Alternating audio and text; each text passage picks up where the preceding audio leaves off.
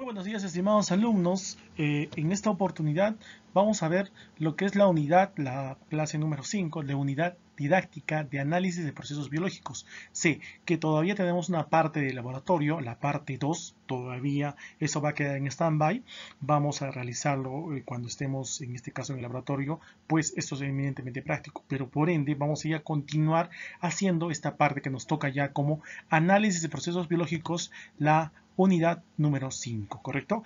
Instituto de Educación Superior, Lilia Gutiérrez Molero. Vamos a ver, como les decía, niveles de organización biológica, propiamente generalidades de los niveles de organización biológica, ¿ya? Lo pongo tema 5, porque es el tema 5, de ahí va a venir el tema 6, pero el tema 5 y 6 están divididos en tres partes. Entonces, esta es la primera parte, las 6 están divididas en parte 1 y la 6 otra parte 2. ¿ya? Entonces vamos a visualizarlo de esta manera para no confundirnos, es continuación nomás. La 5 sigue la 6, ¿correcto? Eh, farmacia técnica, turno mañana 2020 estimado. Bueno, también es turno tarde y noche en caso hay, hay dos grupos, un grupo creo de noche, entonces también no hay problema, el avance sigue siendo el mismo, ¿correcto? Pasamos entonces a nuestra clase del día de hoy.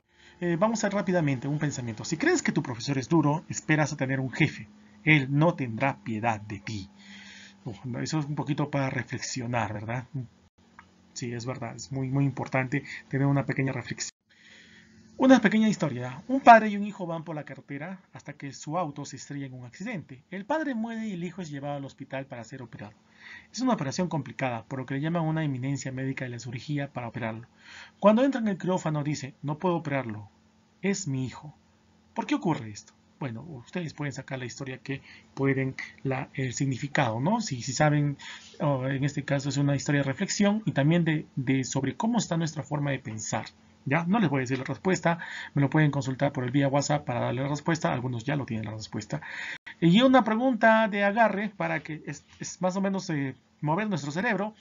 A es el padre de B, pero B no es el hijo de A. Muy sencillo, por favor. Esta es una pregunta de agarre que todos nos hacen. Y si quieren también la respuesta, les voy a dar por el grupo de WhatsApp, estimados alumnos tengan, para un poquito calentar nuestra, nuestra memoria. Entonces empezamos con del día de hoy, la célula y la fisiología celular. Bueno, muy, muy importante.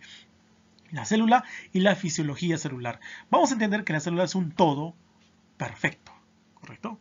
Está formada por carbohidratos, lípidos, proteínas y ácidos nucleicos o bases nitrogenadas, como en este caso lo conocen, ¿no? Carbohidratos, lípidos, proteínas, ácidos nucleicos o bases nitrogenadas. Cuatro componentes importantes que vamos a desglosar cada uno de ellos de forma general, ¿correcto? De forma general y rápida. Niveles de organización estructural en el cuerpo humano. Existen en el nivel de nuestro cuerpo humano niveles de organización. Estos niveles de organización, desde un punto de vista general, eso lo saqué de Fisiología de Tórtora, ¿ya? Fisiología de Tórtora, que es uno de los libros consagrados en anatomía y fisiología a nivel internacional, o sea, no me pueden decir eso no vale, ya eso tiene algo de eh, ciencia, tiene ciencia pura que son autores reconocidos a nivel internacional. ¿Cómo vamos a organizar esta parte de niveles de organización? Pues de la forma más sencilla, desde los átomos, que es el nivel químico, pasamos a la formación de moléculas, otros le llaman formación de azúcares, que es ¿no? al nivel celular, ¿ya? El nivel celular va a formar el nivel tisular, ¿ya? O sea, los átomos forman moléculas, las moléculas forman células, las células forman tejidos, ¿no? Cuando ustedes escuchan el término tisular, hace referencia a tejido, ¿correcto? Entonces, nuevamente, para no perdernos y hacerlo pausado. Los átomos, el famoso CHOM, ¿no? Esas las biomoléculas orgánicas, los átomos, eh, como propiamente átomos, forman moléculas, ¿no? Moléculas como azúcares, como el DNA. Las moléculas forman las células. La célula, las células forman los tejidos o forman el nivel tisular. El nivel tisular, ¿ya? Forma el nivel de los órganos, o sea, los órganos, ¿ya? Los órganos. Los órganos forman los aparatos, ¿ya? Los aparatos forman los sistemas y los sistemas junto con los aparatos forman el nivel organizacional o el complejo, en este caso orgánico biológico del organismo. muy sencillo, ¿visto?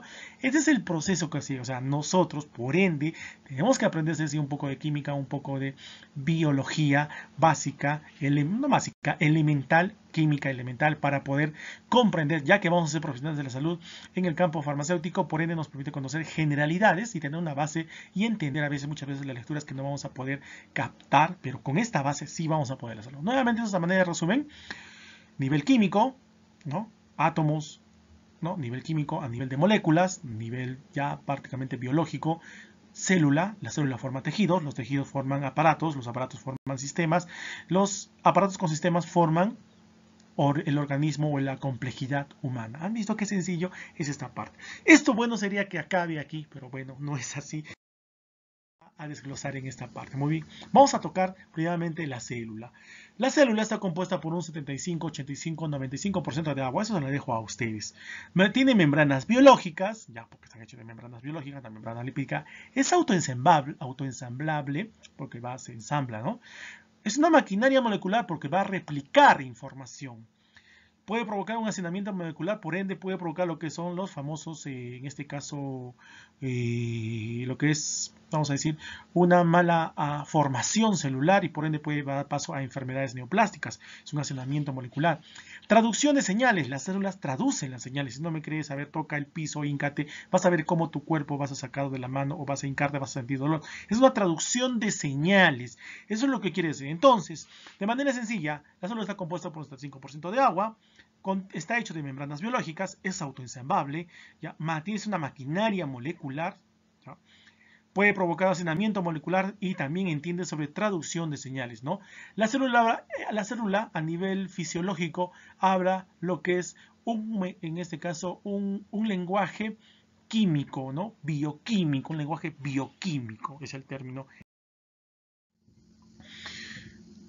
Muy bien, la célula. La célula está compuesta por biomoléculas orgánicas. ¿No? Los compuestos químicos de la materia viva reciben el nombre de biomoléculas orgánicas. Entonces, la célula primeramente está compuesta por biomoléculas orgánicas.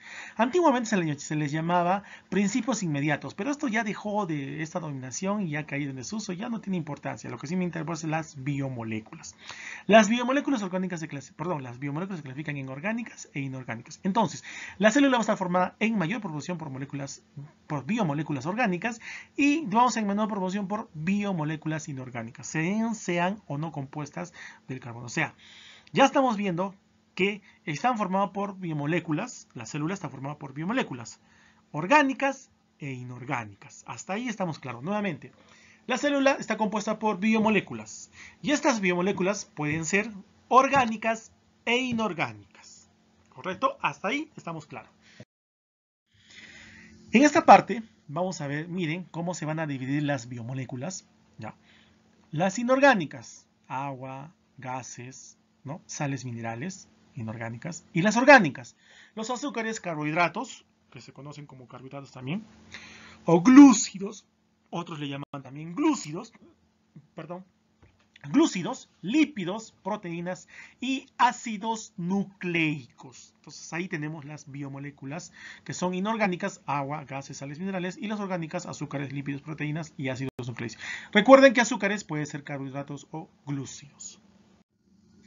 Tipos de biomoléculas. Vamos a ver que los monómeros, ya, que pueden, pueden formar aminoácidos, que son aminoácidos, y pueden convertirse en macromoléculas y estas pueden ser proteínas. ¿Correcto? No, ahí se me ha ido proteínas, es proteínas, ¿ya? Es proteínas, entonces ahí lo tenemos, ¿ya? Las, los tipos de moléculas monómeros, que, forman, que son los más sencillos, que forman aminoácidos, los aminoácidos forman macromoléculas, las macromoléculas son proteínas y estas van a tener funciones, vamos a decir de repente, informativas. Entonces, tipos de biomoléculas que van a encontrar a nivel de la organización celular. Aquí, como les decía, ¿no? Los glúcidos, o también conocidos como carbohidratos, o también conocidos como azúcares, ¿no? Los glúcidos, esto vamos a verlo más adelante, van a ser de repente monosacáridos, disacáridos o polisacáridos y van a tener funciones. Por ejemplo, los monosacáridos van a estar en los nucleótidos o en las bases nitrogenadas. ¿Qué son las bases nitrogenadas? Pues el ADN y el ARN. Ah, ya te vas metiendo un poquito en biología. Sí, que esto es un poquito complicado, pero vamos a hacerlo de manera sencilla, como les digo. Solo sigan lo que yo estoy explicando y no se pierdan, por favor. ¿Ya? Glúcidos o también conocidos como carbohidratos, o también conocidos como azúcares, están formados por monosacáridos, ¿ya? Esto déjenlo ahí, hasta ahí nomás. Estos monosacáridos van a formar a veces parte de las bases nitrogenadas y que van a dar paso a los ácidos nucleicos, ¿ya? Y los lípidos, que son las famosas grasas, que pueden ser saturadas o insaturadas, que van a permitir a la célula autoensamblarse, por eso el término que les decía, el autoensamblaje ya el autoensamblaje a nivel, al inicio, ¿no? El autoensamblaje, ya. Esto es autoensamblarse, ¿no? Formarse, ¿no? Esta es una bicapa lipídica de la célula, autoensamblarse. Puede estar, ¿no? Formado por diferentes tipos de, eh, en este caso, de compuestos, ya, que vamos a verlo más adelante. Tamaño de relativo de las biomoléculas. Pueden ser grandes o pequeñas, ¿no? Y estos se pesan en kilodaltons. Proteínas, por ejemplo, extracelulares, ¿no? Proteínas o macromoléculas extracelulares. Entonces, macro serían, por ejemplo, la inmunoglobulina G, la lisocima, la insulina, que son extra, fuera de la célula, ¿ya? Fuera de la célula. Y, en, el límite, en la membrana, en este caso la membrana, en la bicapa lipídica, en el límite, en la célula, en la bicapa lipídica, pues está hecha por la bicapa lipídica, que eso también puede estar formada por, en este caso, por la bicapa lipídica. Eh, otro ejemplo tenemos el sulfato, que son compuestos extracelulares. Proteínas intracelulares, o sea, estas que vamos a encontrar dentro de la célula, la mioglobina, la hemoglobina, los citocromos, los famosos citocromos, que esto lo van a hacer más adelante, los famosos citocromos. Ya sabes que los citocromos se encuentran dentro de la célula. ¿ya? La glutamina sinteasa es una enzima. ¿Ya? La DNA duplex, ¿no? que son ácidos nucleicos, el RNA de transferasa, los metabolitos intracelulares como el agua, el famoso alcoholes, los famosos eh, ácidos nucleicos, perdón, los aminoácidos esenciales. Entonces, estos de aquí son intracelulares. Los anteriores que hemos mencionado, como la hemoglobina G, ya la lisocima, son extracelulares. La insulina, por ejemplo, son extracelulares. Estas proteínas son intracelulares, dentro de la célula, ya porque son pequeñas, ¿no? las otras son grandes y no van a poder entrar. ¿Qué biomoléculas tenemos así de manera general, ¿no? Eh, que van a componer, eh, en este caso, en el, en el organismo? Oxígeno, carbono, ¿no? hidrógeno, sobre todo el CHO, ¿no? carbono, hidrógeno, oxígeno, nosotros somos hechos por el CHO, nitrógeno, calcio, fósforo, azufre, potasio, cloro, sodio, magnesio, yodo, hierro, entre otros, en porcentajes que vamos a ver aquí. Y oligoelementos que vamos a tener cobre, manganeso, molibdeno, cobalto, zinc, flúor, selenio, cromo, ¿ya? Entre otros que vamos a, en este caso, a tener que en nuestro organismo, eh, sodio, calcio, ¿ya? zinc, lo que hemos mencionado aquí, que vamos a tener en esta parte sobre estos bioelementos o oligoelementos. Bioelementos es una cosa, estos, y los oligoelementos, ¿no? Se, llaman oligoelementos porque son pequeñas cantidades que va a requerir el cuerpo humano. Perdón. Sí, se llaman oligoelementos porque son pequeñas cantidades que va a requerir el cuerpo humano. Y bioelementos porque son, este hecho, las, a nivel celular están hechos en, grandes proporciones, gran cantidad de estos eh, eh, compuestos que vamos a encontrar en como el famoso CHO, ¿no? Carbono, oxígeno, hidrógeno y nitrógeno. La célula. Sí, seguimos en la célula. La célula es un organismo, está, eh, ¿no? forma los organismos vivos. Las células de los organismos vivos están hechas por macromoléculas. Estas macromoléculas están hechas por micromoléculas, estas micromoléculas están hechas por polímeros y estos polímeros están hechos por monómeros. Nuevamente, la célula forma organismos vivos. La célula forma organismos vivos, o sea, un conjunto de células va a formar organismos vivos, como ya hemos visto anteriormente en los niveles de organización. Pero estos organismos vivos están formados por macromoléculas, las macromoléculas están formadas por micromoléculas y las micromoléculas están formadas por polímeros y otros polímeros están formados por monómeros. Los monómeros son la base, vamos a decir, lo más básico de eh, cuando va a haber el catabolismo, lo más básico de lo que va a adquirir la célula. ¿Cuáles son estos bioelementos que hemos visto? Las biomoléculas, el famoso CHOM, carbono, hidrógeno, oxígeno, nitrógeno y otros elementos. Primero, o sea, la célula está compuesta por carbono, hidrógeno, oxígeno, nitrógeno y fósforo y otros elementos, ¿correcto? Y otros elementos.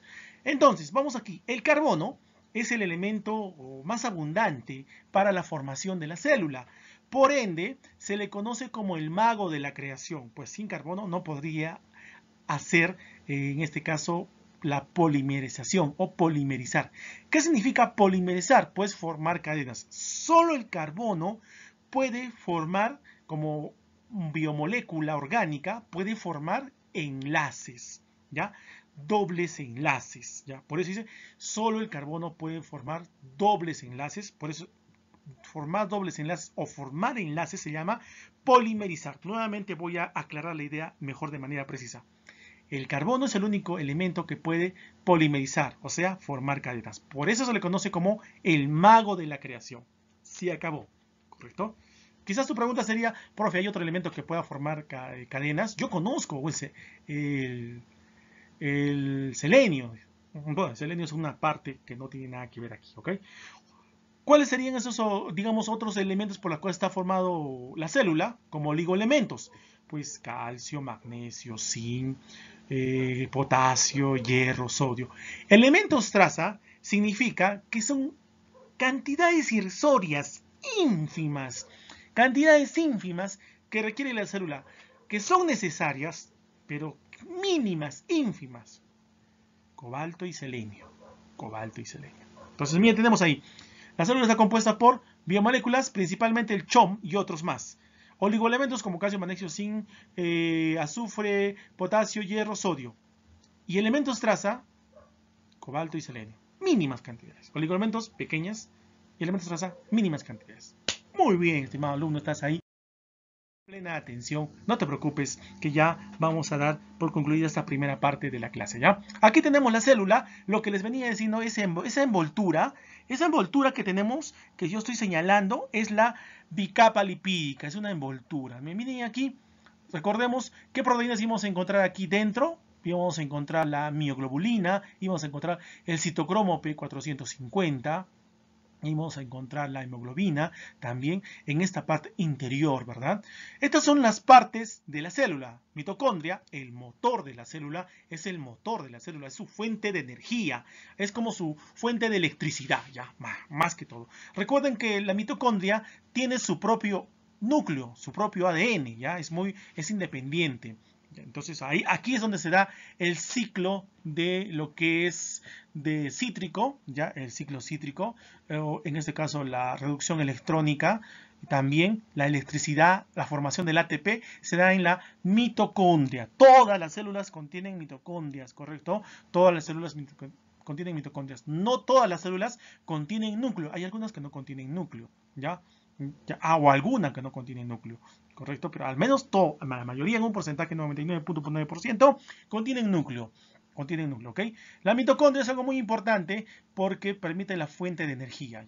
Los microfilamentos que le dan forma, lo del centriolo, el citoplasma, la membrana celular, lo que hemos visto la membrana lipídica, el núcleo, dentro del núcleo vamos a encontrar el nucleolo, ¿ya? La cromatina también, el sistema Golgi, otros le llaman sistema Golgi, otros aparatos de Golgi, ya donde están las chaperonas y las chaperoninas, las vesículas, donde van a verse en este caso el transporte de proteínas, el retículo endoplasmático rugoso, que contiene ribosomas, y el retículo endoplasmático liso, que no contiene ribosomas. Es así de sencillo. Se llama retículo endoplasmático rugoso porque no contiene ribosomas, perdón, se llama retículo endoplasmático rugoso porque contiene ribosomas, que son pequeñas fabriquitas para las proteínas, y retículo endoplasmático liso, que no contiene ribosomas. Es así de sencillo estas partes. Miren, que vamos a aprender de la célula, las partes fundamentales y sencillas quizás un dato adicional, ¿no? Si tú quieres saber de dónde es tu origen, puedes pues, sacar una prueba de ADN mitocondrial, ¿no? Y ahí vas a saber de dónde es tu origen, porque solo la mitocondria